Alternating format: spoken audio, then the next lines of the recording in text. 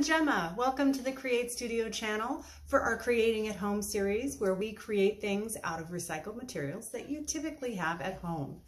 This month, the month of April, we are featuring metal. So the projects that we're going to be offering the inspirations for or the tips or the starters for are all based on metal materials. This week's material that we're going to feature is tin cans.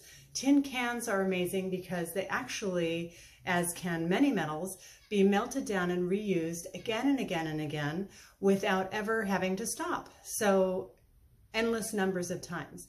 But in the meantime, it's great to use them or reuse them for a purpose that serves your family needs. And I think tin cans are great as paintbrush holders or a place to put money when you want to set aside for a special item, or you could even have it catch all the buttons in that you find in the dryer or beads or different things that come out of pockets change. They're just great for catching all kinds of things. They're tidy, they're compact, they're great in a cabinet, they're great on a counter. They're so much fun. So this week, we're just taking a look at how you can use some pages from a magazine to just cover a can quickly, and then it's a cute item to have at home. So I have a tin can full of chopsticks, and I incidentally learned that the um, the gradation surface, it's not gradation, the, what do I want to say? Well, the bumpy surface, the rigid surface, is to give the tin can strength, which I didn't realize, but I think that's pretty neat.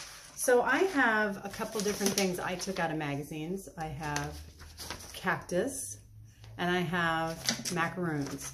So I'm just gonna take one as a quick sample for you. You're gonna wanna have some tape handy. Um, you can also use a glue stick or hot glue. So you'll take your page, since I want the macaroons, they will be sideways. I'm gonna take my tin can and hold it up to the picture I'm gonna use. I can now, since this has this straight edge on it, that can be the top of my can. And I'm gonna wanna measure it so that this can is sticky, so that it's just gonna go right under this lip. And then the bottom, I'm just gonna mark with a pencil so I know where I want to trim it.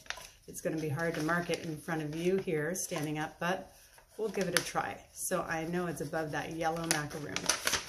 Once you have a little marking, I like to actually fold the paper for the length that you're doing because that even gives it just a straighter line than if you're eyeballing the little mark that you made.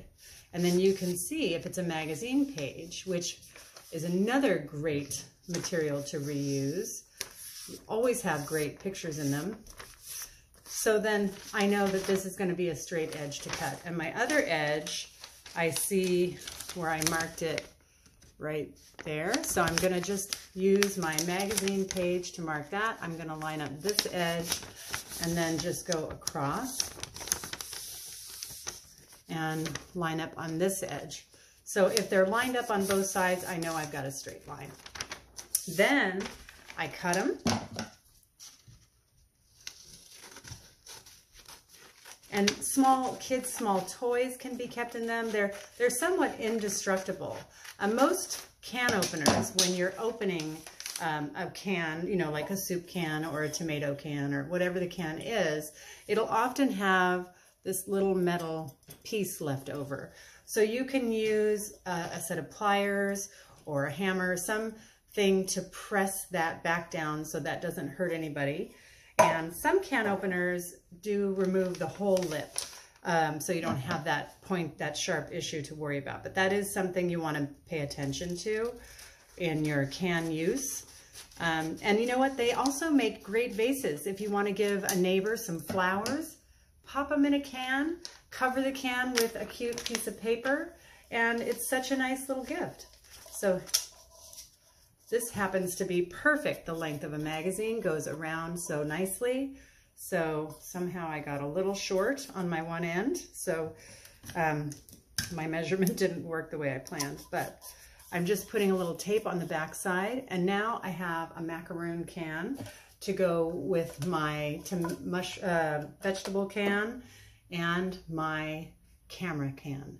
Hope you like this idea and try it at home. I think it's such a great um, item to use. You can even store toothbrushes in it.